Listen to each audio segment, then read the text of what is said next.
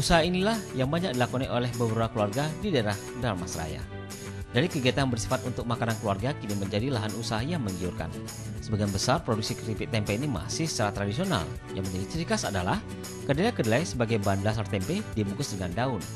Berbeda dengan di tempat lain yang menggunakan plastik untuk membungkus kedelai menjadi tempe. Agar keripik tempe memiliki rasa yang gurih dan semua bumbu diolah menjadi satu.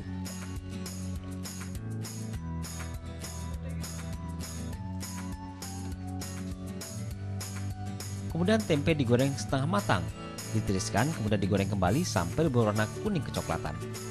Meski prosesnya cukup memakan waktu, namun untuk rasa berbeda dengan keripik tempe lainnya karena rasanya yang khas itulah keripik tempe dalam saya selalu diburu pembeli untuk dijadikan oleh-oleh. Apalagi ketika hari-hari strategis untuk pulang para perantau atau anak-anak sekolah seperti hari raya dan libur, maka akan sulit mendapatkan keripik tempe. Bagi para perantau ataupun anak sekolah yang akan kembali ke perantauan, belum terasa lengkap jika tidak membawa keripik tempe. Keripik tempe yang dapat dijumpai di setiap warung atau toko kecil dan besar di daerah Stiung selalu habis diserbu para pembelinya. Toko dan warung tersebut sering kehabisan stok, bahkan mereka harus memesan pada para pembuatnya jauh-jauh hari.